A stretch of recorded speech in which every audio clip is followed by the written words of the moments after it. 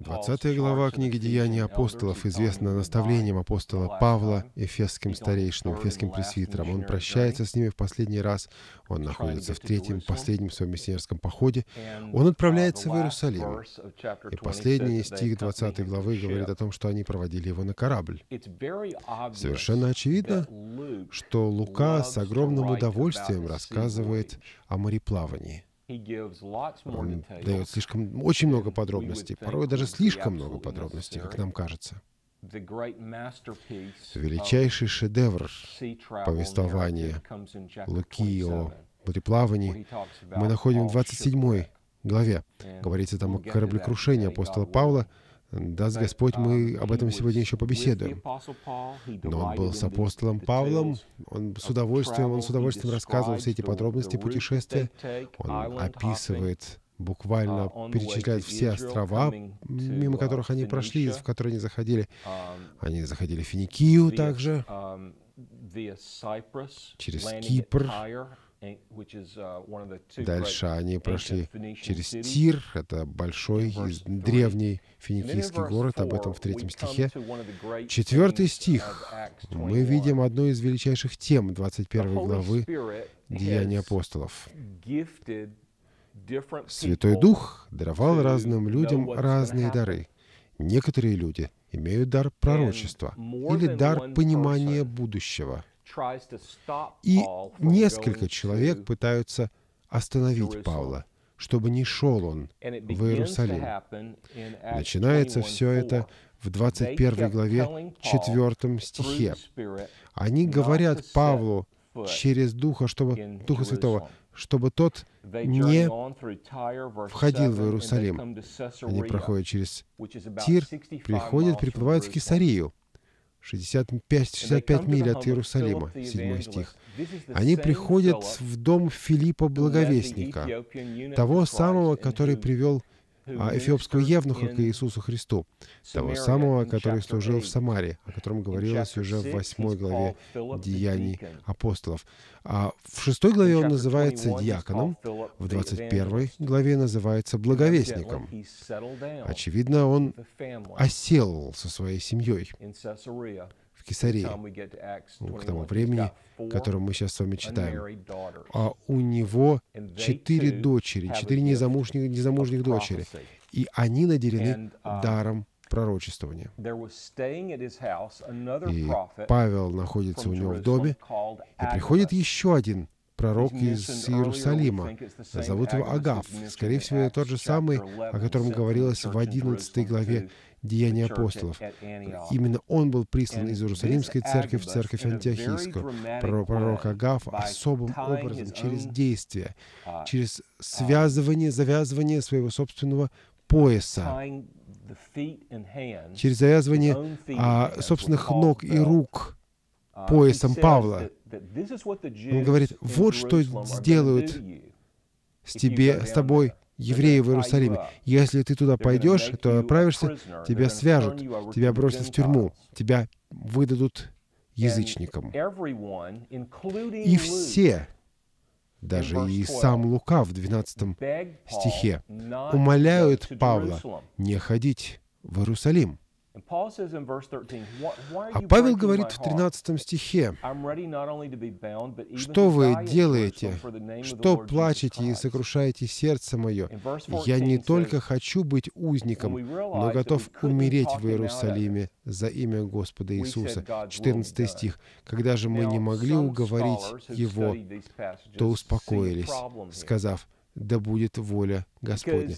Некоторые библеисты, изучая эти фрагменты, видят в них проблему. Очевидно, что Дух Святой пытается удержать Павла, чтобы тот не шел в Иерусалим. А Павел, который при этом живет по Духу, все-таки ходит почти, почти пойти в Иерусалим. А, говорят, что здесь есть какое-то противоречие. Никакого противоречия здесь нет. Дух Святой указывает, что Павла ожидают великие преследования, великое гонение в Иерусалиме. Но Павел это уже знал. Павел это никогда и не отрицает. Те, кто поняли, какие события должны произойти, решили при этом, что воля Божия, чтобы Павел не ходил в Иерусалим. И вот это решение было неверным.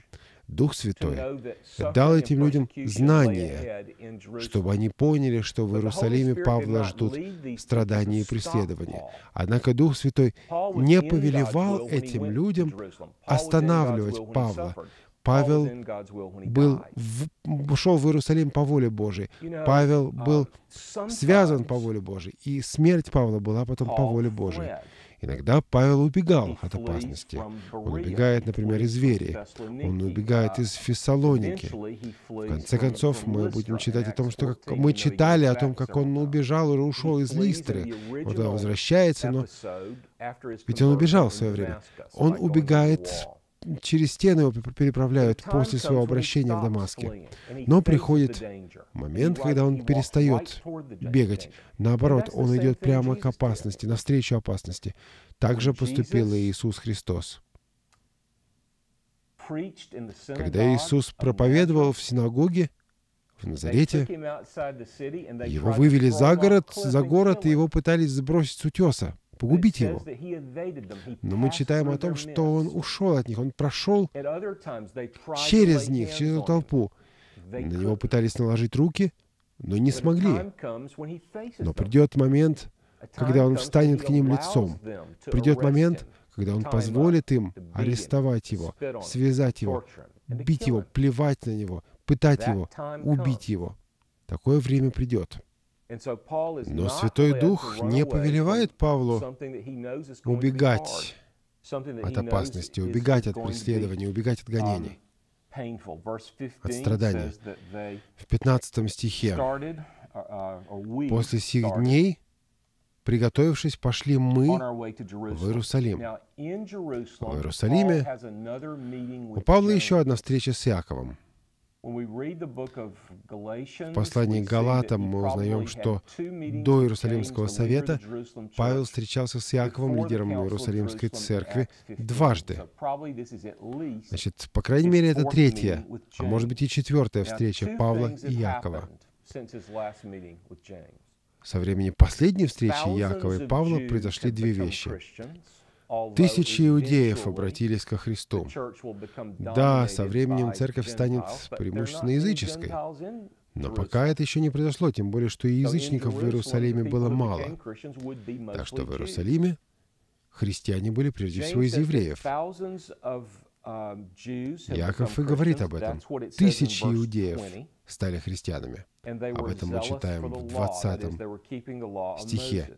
И они ревнители закона Моисеева. Так что первое, что произошло, тысячи обращений из евреев. Второе, среди этих евреев Павел прославился но прославился по плохой причине.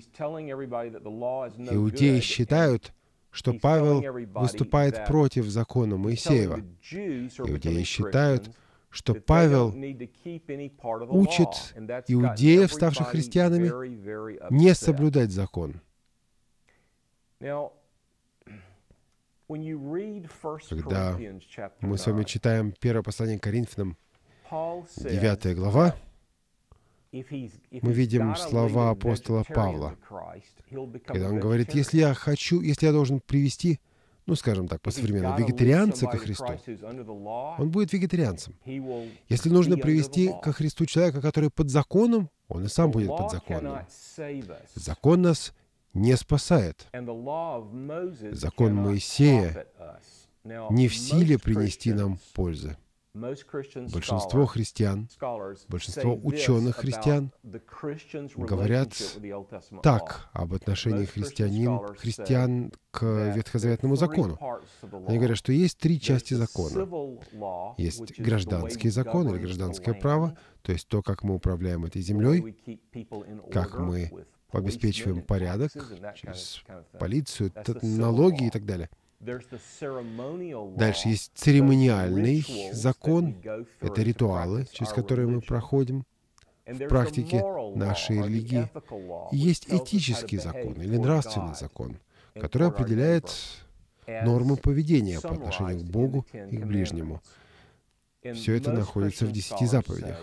Большинство христианских ученых говорят, что христианин не подотчетен, не подвластен э, гражданскому праву или церемониальному праву, но вполне подвластен нравственному праву. На такой позиции стояла реформатская протестантская теология, и также на ней же стоят большинство христианских ученых. Я думаю, что это проблема, потому что эта позиция, хотя в принципе ее можно защищать, имеет определенные проблемы. В Ветхом Завете 613 заповедей, не 10, а целых 613. Ветхий Завет не знает различия между церемониальным законом, гражданским законом и нравственным законом. Более того, Библия говорит о законе вообще, как о кодексе, как о едином кодексе. Сам Иаков говорит об этом, потому что Иаков пишет в своем послании, послание Иакова, 2 глава, о том, что если мы нарушаем одну часть закона, то мы нарушили весь закон. Закон был пригвожен к кресту с Иисусом Христом. Христос исполнил закон. Люди, которые говорят, что мы остались под нравственным правом, нравственным законом, 10 заповедей и так далее, говорят так вот почему. Потому что если так не сказать, то христиане станут беззаконниками. Мы будем христианами, которые говорят, мы спасены по благодати, Бог нас прощает, мы можем поступать как хотим. Павла в этом обвиняли. Он говорит об этом в послании к римлянам.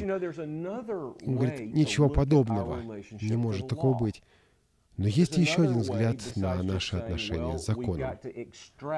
С одной стороны, мы можем сказать, что вот давайте извлечем а, нравственные элементы этого закона а, и будем их соблюдать.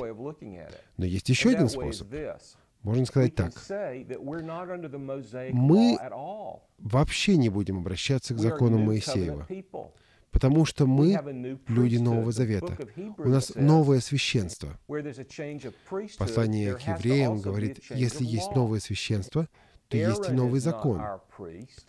Но наш священник не Аарон и не Левий наш священник Иисус Христос. Иисус священник не по чину Ааронову, не по чину Левия, а по чину Мельхиседекову.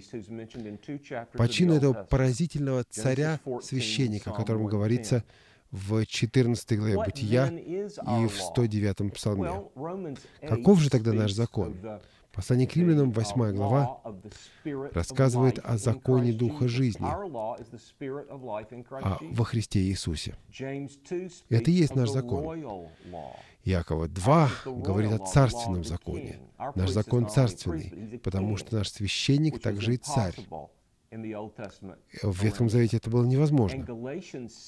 Послание Галатам, 6 глава, говорит о законе Христовом. Что такое закон Христов?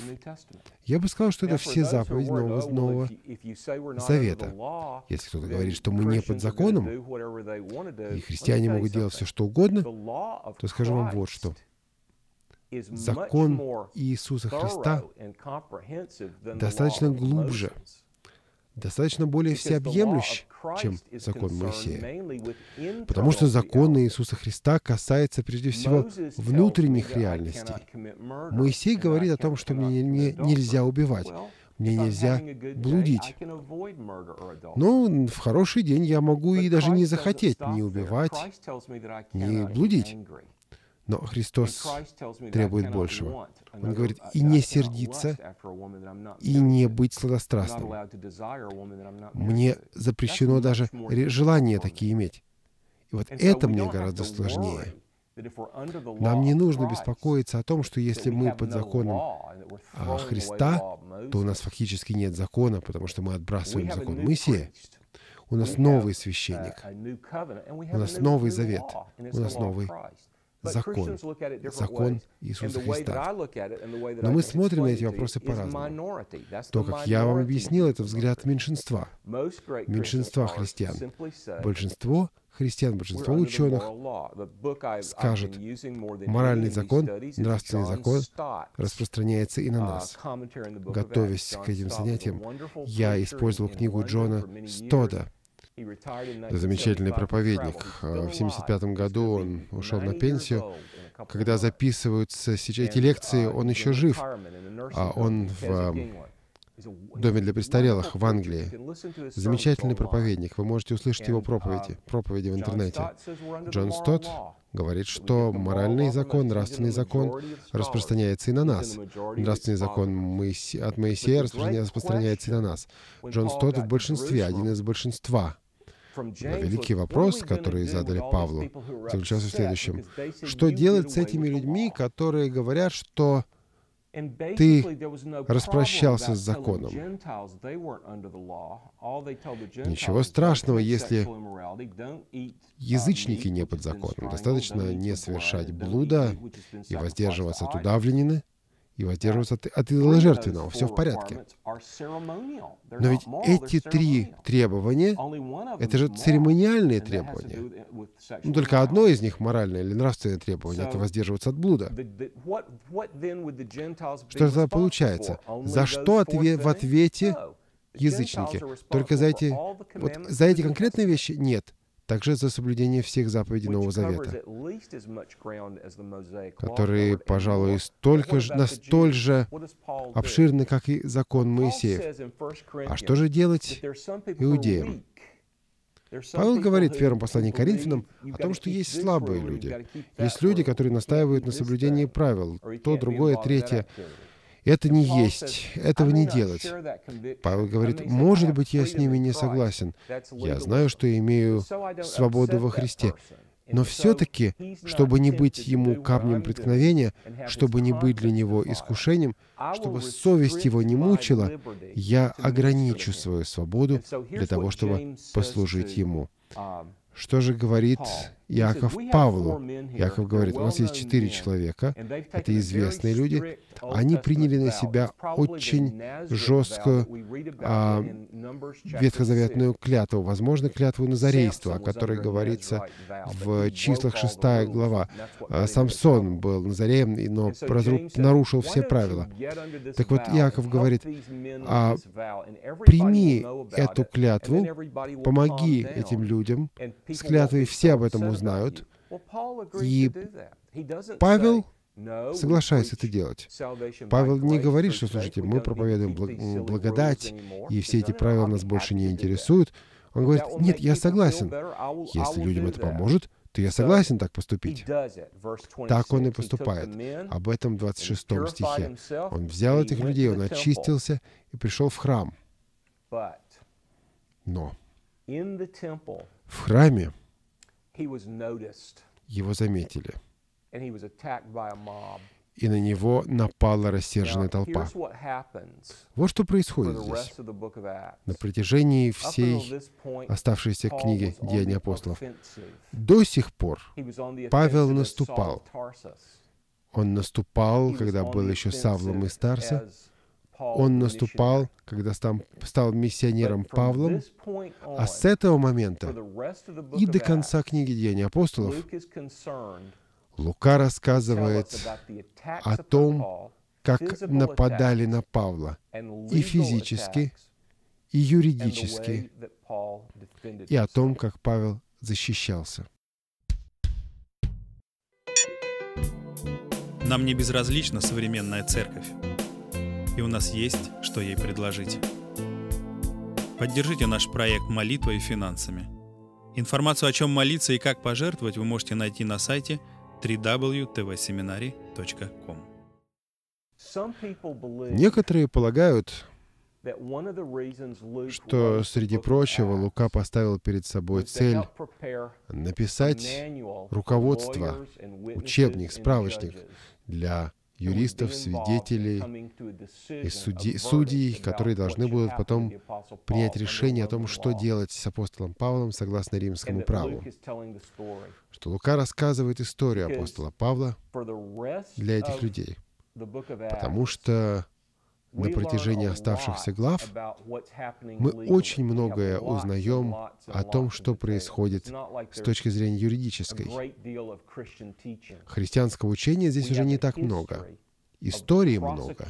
История преследования апостола Павла перед нами и защиты Павла.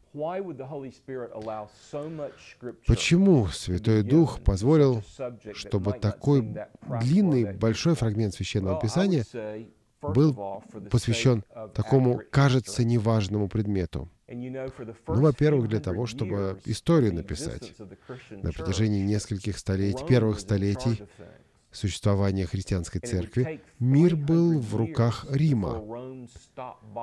Только через 300 лет Рим перестал гнать христиан. И было очень полезно что у христиан есть документ, в котором четко написано, почему Риму не следует притеснять христиан, почему христианам нужно дать свободу. Но кроме исторического аспекта, кроме аспекта полезности на протяжении первых веков существования христианства, есть здесь еще одно соображение.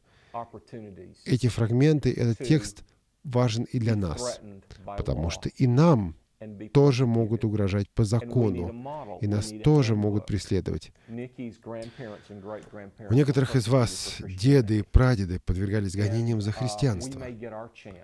И, может быть, и нам достанется, может быть, и нам придется. Может быть, и в Америке будут гонения, потому что Америка изменяется очень быстро. Возможно, христиане из Америки будут убегать в Россию в поисках религиозной свободы. Мир меняется, и меняется очень быстро.